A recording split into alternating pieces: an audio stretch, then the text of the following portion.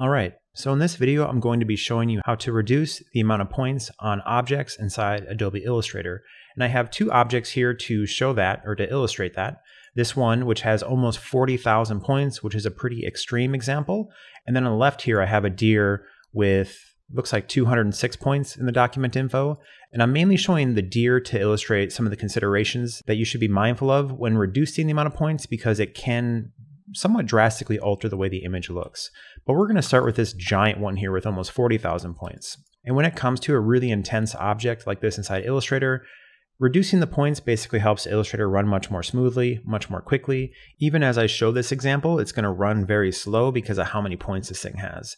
So what you want to do to reduce the amount of points in an object is to highlight that particular object inside Illustrator, and then you want to go to Object, and from Object, you want to go to Path, and from path, you want to go to simplify.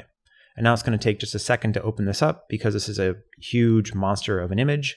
And this little bar that showed up right here is the very basic way of editing this.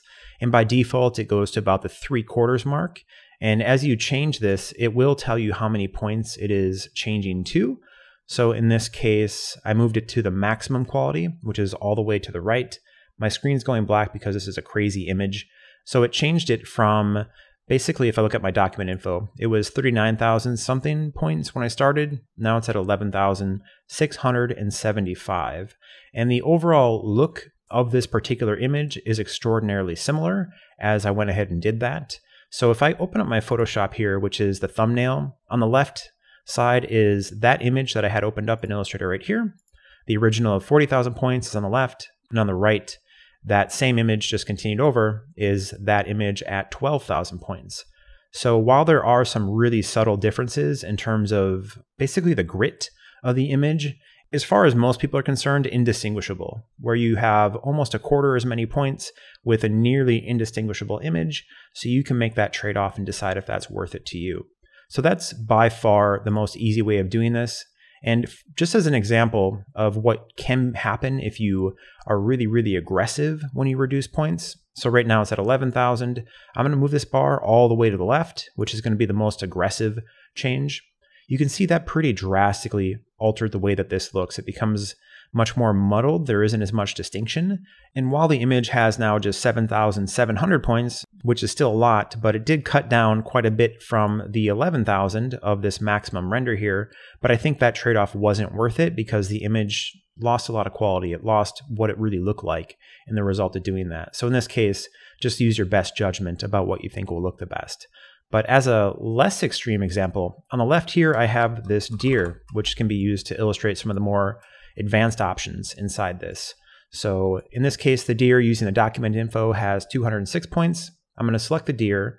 I'm going to go to object and then path. And then from object path, I'm going to go to simplify.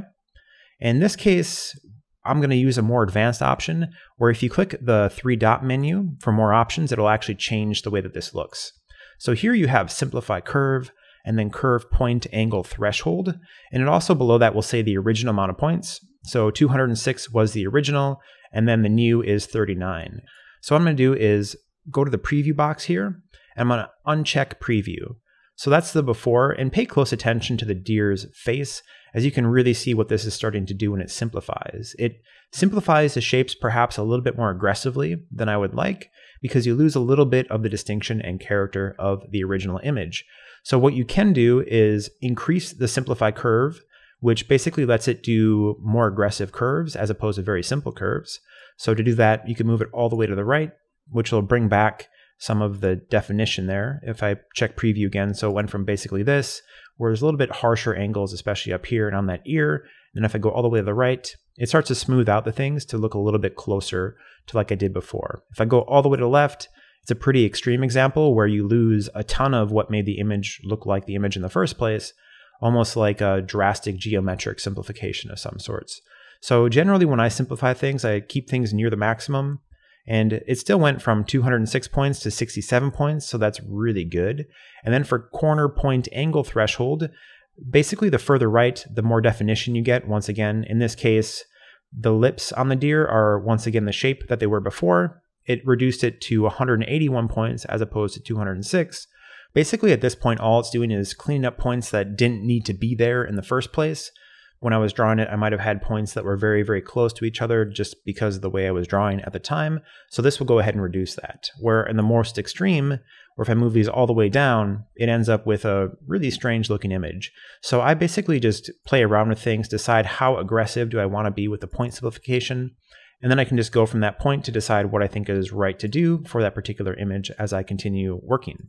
And in most cases, when it comes to a very simple image like this deer, reducing the points doesn't matter a whole lot because it's not going to have a substantial effect on the speed at which Illustrator runs. If you want to just clean up the points a little bit to make it a bit easier to adjust or work with, you can certainly do that. But in a case like this right side image, where it's a really, really intense image with a ton of points, in that case, simplifying it can have a really drastic or dramatic difference because when it comes to intense images like this inside Illustrator, especially if you have multiple of those inside Illustrator, it can run incredibly slow. It can even cause Illustrator to crash sometimes as you try to move stuff around or make modifications. It freaks out because the amount of points that it has to process with every single movement or change in that particular image. So in those cases, it's totally worthwhile and very valid to do. And also, abstract images like this, much easier to do more dramatic changes as far as point reduction goes because you can't really tell the difference so well. Like in the Photoshop example, there's almost no visual difference between these two.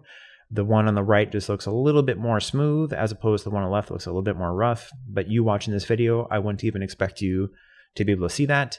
But when you're dealing with something that represents an actual image, then you can really start to pay attention to the differences that happen. And also when you go to object and then path and then simplify and then go to the advanced options, there's also an option to show original path, which will just draw a line which might be kind of faint on your screen, but it will show you the differences between the original and then the point reduction one, so you can make sure that those changes are changes that you're okay and happy with before you move forward.